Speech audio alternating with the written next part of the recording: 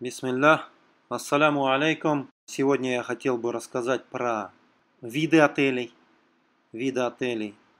То есть звездность отелей. Что отелей бывает 5 категорий. 5 категорий отелей. Первая звезда, вторая звезда, третья звезда, четвертая, пятая звезда. Да? И все они от, отличаются. На примере вот Мекки, вот пятизвездочный отель, в котором сейчас мы как бы находимся. Вот это пятизвездочный отель Мэриот в центре города. Шикарный отель, новый отель. Рядом есть, рядом есть отель Хилтон, но он с четырьмя звездами. Сейчас, в принципе, уже на звезды мало кто смотрит, мне кажется, вот так. Смотрят на уровень отеля, уровень, местоположение отеля – на примере вот Мекки я вам могу сказать, многие отели специально занижены, потому что за каждую звезду нужно платить денег. Отель платит за каждую звезду деньги. То есть здесь, например, четырехзвездочный отель, ты ежегодно платишь э, сертификат, чтобы у тебя на целый год сертификат был. И четырехзвездочный, например, он платит 100, 100 тысяч э, реалов. А пятизвездочный двадцатка сверх.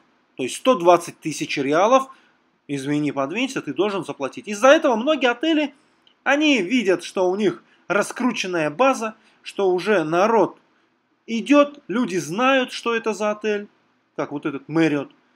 Там свои клиенты. И они могут не париться уже.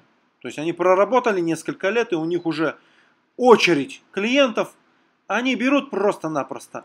Давай сделаем четырехзвездочный.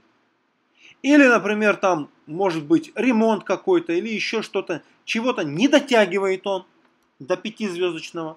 Он хочет быть пятизвездочным, но в нем там какие-то сейчас на данный момент какие-то реконструкции или еще что-то, а по этому не проходит он по стандарту. И ему дают, ну возьми, ладно, в этом году у тебя будет свидетельство, там, шагада, здесь его называют тасрих, разрешение. У него на 4 звезды, ему рисуют 4 звезды, хотя отель по всем параметрам пятизвездочный. В общем, вы в своем городе находите, какие у вас отели есть. Выписываете в блокнот, отели есть. Одна звезда, столько отелей. Две звезды, столько отелей. Три звезды, столько отелей. Вы выписываете все эти отели и делаете обзоры. Отели есть разные, даже пятизвездочные, но они разные есть отели. Поэтому вы должны уже в этом как бы разбираться. Вы когда заходите изначально а, в отель, там сразу на стене будет висеть свидетельство, регистрация. И там, или, например, этот э, висит э, прям просто звездами обозначено. Пять звезд вы увидите или 4 звезды, или одна звездочка висит. Вы сразу скажете, о, это одна звезда. О, а вот этот отель 2 звезды. О, а вот это 3 звезды. То есть вы в отель, когда заходите, в любой отель, или, например, на Booking вы заходите, смотрите, и там обязательно у названия, названия отеля там сразу нарисованы несколько звезд. У одного две звезды нарисованы, у другого три звезды нарисованы. Там не пишут они, этот отель три звезды. Там просто звездочка, значочек стоит значок, звездочка. Ну и ты уже понимаешь, ага, мы сейчас имеем дело с трехзвездочным отелем. Что ж, давайте. Иногда бывает такое, что однозвездочный отель, у него одна звезда, но уровень, они даже директора говорят, но наш уровень три звезды или четыре звезды. И ты действительно заходишь, действительно там шик, все красота. Они просто держат марку. А звезда у него одна. И он не может выше взять. По каким-то там, может быть, причинам. Одна из причин, я вам сказал, что вот эти за звездность тебе дают повышенную ставку. А может быть наоборот. Может быть пятизвездочный отель. Вот у меня есть один пост про Шугада, отель Шугада но он старый уже отель. Это самый древний, наверное, отель. Так, когда было время, когда на одной улице стояло 2-3 отеля таких, и они гремели, самые такие пятизвездочные. Остальные вокруг все такие пешки, маленькие отели, э, не такой уровень. Но при, проходит время, что все, этот Шугада прошло 20 лет, 30 лет, но он состарился, и все.